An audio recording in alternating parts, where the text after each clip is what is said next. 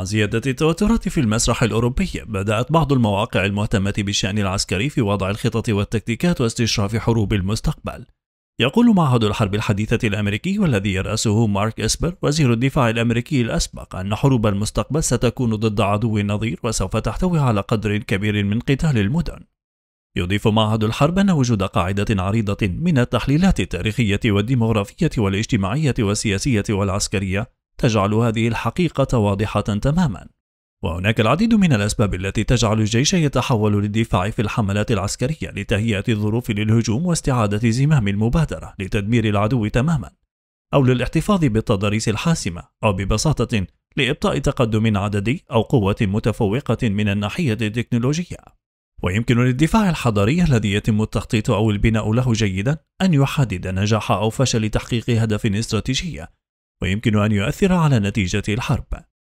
على عكس البيانات الأخرى مثل المناطق الحرجية أو الجبلية تحتوي التضاريس الحضرية على خصائص فريدة تسمح بإجراء دفاع قوي جدا وفتاك حيث تسمح الكثافة والبناء وتعقيد طبيعة التضاريس من صنع الإنسان في المناطق الحضرية للجنود باستخدام أو تشكيل البيئة الدفاعية المناسبة وبسرعة لتعزيز خطة الدفاع. يجب أن تسعى خطط الدفاع الحضرية إلى تفكيك التشكيلات الهجومية وفصل القوات الراجلة من القوات الميكانيكية والمدرعة والحد من قدرة الجيش المهاجم على المناورة وتقويض التقنيات العسكرية مثل الاستخبارات والمراقبة والاستطلاع وقدرات الضربات الجوية وزيادة عنصر المفاجأة. فالخطة يجب أن تكون إما هزيمة المهاجمين أو شراء الوقت للأعمال التكتيكية والتشغيلية والاستراتيجية الأخرى. في حالة اختيار دفاع عن منطقة معينة والذي يركز على التضاريس أو تعيين وحدات ثانوية لاستخدامها في الدفاع عن مناطق رئيسية في المنطقة الحضرية. فإن التكتيك القوي هو إنشاء نقاط قوة من خلال تعزيز المباني أو استخدام الهياكل الموجودة مسبقا والتي يصعب تدميرها بالفعل. على سبيل المثال الهياكل الخرسانية ذات التدريع الثقيل مثل المباني الحكومية والشقق ومجمعات المكاتب أو المصارف. هنا تصبح هذه المباني القوية حصونا صغيرة داخل المدينة إذا كان لدى القوة المدافعة الوقت ودعم سلاح المهندسين فيمكنها إحضار دشم الرمل والأخشاب والعوارض الفولاذية ومواد تقوية أخرى لتقوية الهيكل وإنشاء العديد من المخابئ داخل المعقل. يجب استخدام المعادن والأسلاك والمواد الأخرى لإنشاء عقبات حول المبنى وإغلاق أي مداخل محتملة. كل ذلك لجعل الأمر صعبا على العدو الذي سيتطلب الكثير من الوقت والنيران والموارد للاقتراب وتطهير الموقع. ويتمثل التحليل النقدي في اختيار المباني المناسبة لنقطة القوة وإنشاء زوايا متعددة للهجوم من خلال إطلاق النار من المبنى. وإنشاء شبكة عوائق تمنع الجيش المهاجم من تجاوز المبنى أو عزله لتطهيره لاحقا. ففي سبتمبر 1942 خلال معركة ستالينغراد استولى الرقيب الروسي ياكوف بافلوف وفصيلته على مبنى سكني مكون من أربع طوابق. أطلق عليه لاحقا اسم منزل بافلوف يطل على ساحة كبيرة. كان للمبنى خطوط رؤية طويلة من ثلاث جهات ولف رجال بافلوف المبنى بالأسلاك الشائكة والألغام المضادة للأفراد والدبابات وحطموا وصنعوا ثقوبا في الجدران لإنشاء ممرات داخلية. ووضعوا نقاط إطلاق نيران الرشاشات في زوايا المبنى كانوا ينتقلون إلى القبو حيث أصابت النيران غير المباشرة الجزء العلوي من المبنى أو إلى الطوابق العليا عندما تقترب الدبابات الألمانية حتى يتمكنوا من إطلاق النار من الأعلى باستخدام بنادق مضادة للدبابات على أسطح الدبابات العلوية الخفيفة التدريع. احتفظ بافلوف ورجاله بالمبنى لمدة 58 يوما ضد العديد من الهجمات الآلية والمشتركة بالأسلحة. مما تسبب في تدمير عدد غير معروف من المركبات وقتل العديد من الجنود الألمان في هذه العملية. المباني المدمرة يجب على المدافعين عن المناطق الحضرية تشكيل البيئات المحيطة لخلق العقبات ومناطق الاشتباك والكمائن واختيار مواقع المعركة. كما أن الكمية الهائلة من مواد التحصيل العسكرية على سبيل المثال الخرسانة تمنح المدافعين ميزة كبيرة.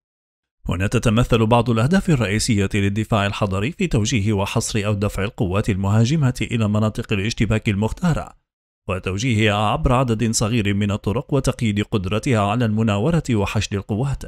وتتمثل إحدى طرق تحقيق العقبات الدفاعية على الرغم من أنها حالة سلبية وأمر مثير للجدل عن طريق تدمير هياكل بعض الأبنية لإنتاج الخرسانة المكسورة أو حديد التسليح أو المواد الصلبة لتشكيل أكوام الحطام. ويمكن أن تدمر المباني من نيران الجيش المهاجم القصف الجوي والمدفعية وقذائف الهاون. ولكن يمكن أيضا إنشاؤها عن قصد من قبل المدافعين لإغلاق طرق الاقتراب عن طريق التدمير الجزئي أو الكامل للمباني وأحيانا ببساطة نقل الأنقاض لإغلاق الطرق من أماكن عدة فمن سبتمبر إلى ديسمبر 1943 قام مهندسو قوات الفيرماخت الألمان في أورتونا بإيطاليا بتدمير المباني على نطاق واسع لدعم الدفاع الألماني عن المدينة. فقد قاموا بتفجير زوايا منازل أو منازل بأكملها أو حتى صفوف من المنازل لتكوين أكوام من الأنقاض. يصل ارتفاعها إلى خمسة أمتار والتي تم خلطها بعد ذلك بالألغام والأفخاخ المتفجرة. سدت هذه الأنقاض شوارع ثانوية ضيقة لإجبار الكنديين المهاجمين على السير في الطريق الرئيسي وفي المنطقة الدفاعية الألمانية الرئيسية. كما أنه جعل من المستحيل تقريبا على الدبابات الداعمة أن تتسلق الأكوام أو المناورة لدعم المشاة والمهندسين الذين ترجلوا من المركبات بل أنها أعاقت المراقبة الكندية على الطرق. الحواجز الخرسانية. غالبا ما يوجد في المدن الحديثة حواجز خرسانية في نقاط تفتيش المركبات أو حماية البنية التحتية. حيث توفر هذه الحواجز تحصينات ميدانية جاهزة. وتعد الخرسانة المسلحة بحديد التسليح عقبة صعبة التدمير للغاية.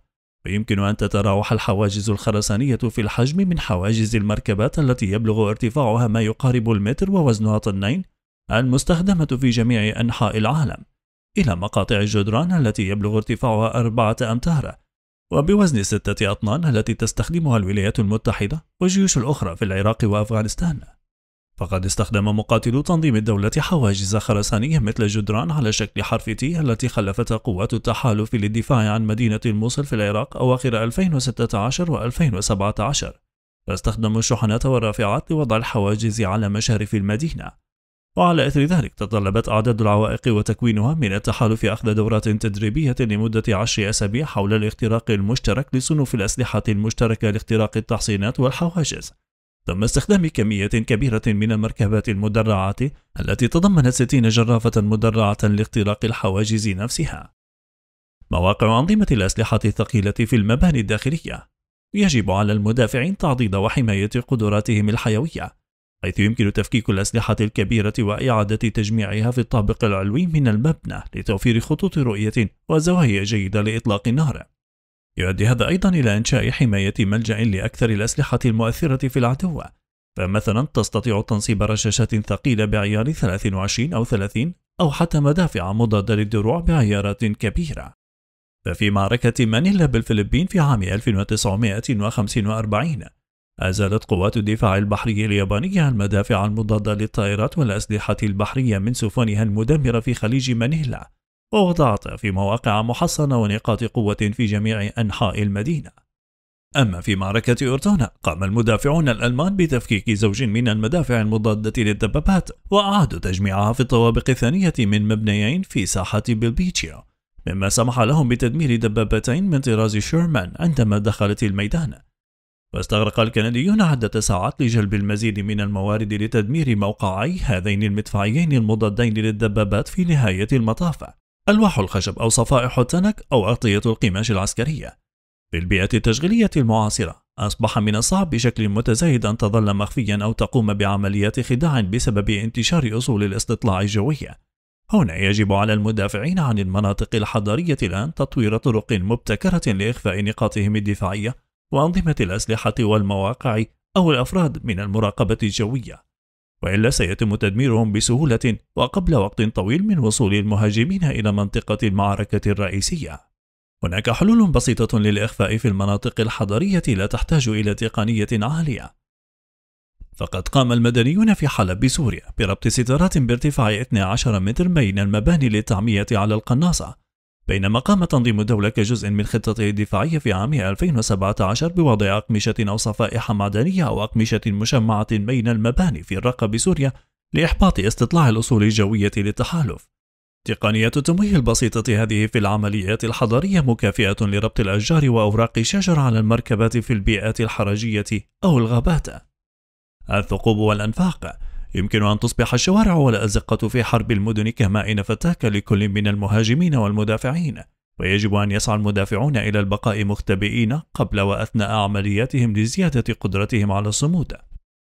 فأسلوب استخدام الفتحات الصغيرة في الجدران الداخلية والخارجية للمباني التي تسمح للجنود بالتحرك عبر الجدران الخارجية والمساحات الداخلية للمباني هي بلا شك واحدة من أكثر تقنيات الدفاع المتكررة المهيمنة الموجودة في تاريخ الحروب الحضرية. يمكن عمل الثقوب يدويا باستخدام المطارق الثقيلة والأدوات الأخرى أو بالمتفجرات، وإن كان هناك مجار وأنفاق في البيئة الحضرية، من الممكن استخدامها وتوسيعها للتنقل والقتال في مناطق متعددة. فقد استخدم مقاتلو تنظيم الدولة الإرهابي في معركة مراوي في عام 2017 في الفلبين الفتحات الصغيرة والأنفاق أسفل المنازل وعبرها لتمكين الحركة من وإلى مواقع المعركة والانتقال إلى موقع بديل إذ كانوا معرضين لخطر المحاصرة. كما سمحت الفتحات الصغيرة والأنفاق للمسلحين بالهروب من القصف الجوي المكثف والمناورات ضد القوات العسكرية الفلبينية. وهذا ساهم في خسائر مدنية كبيرة كي يستعيد المدينة لأن الجيش الفلبيني في النهاية أخذ يقصف عشوائيا وضد المدنيين لعدم قدرته على التفرقة بين المقاتلين والسكان إضافة إلى صعوبة تعقب المقاتلين. وخلال معركة برلين في عام 1945 أثبت جنود الألمان مهارتهم في استخدام شبكات النقل الواسعة تحت الأرض في المدينة وشبكات الصرف الصحي وشبكات البنية التحتية الأخرى. تم استخدام الأنفاق لرعاية الجرحى والحفاظ على خطوط الاتصال وإيواء غير المقاتلين وشن الهجمات. وأشار أحد القادة السوفيتيين المارشال إيفان إس كونيف إلى أن استخدام القوات الألمانية للمنشآت تحت الأرض تسبب في قدر كبير من المتاعب. حيث كان الجنود الألمان يخرجون من سلسلة الأنفاق السرية لإطلاق النار على السيارات والدبابات والأطقم التشغيلية للمدافع الروسية. وإلى هنا أعزائنا المشاهدين ننتهي من الحلقة الأولى حول حرب المدن لمعهد الحرب الحديثة الأمريكية.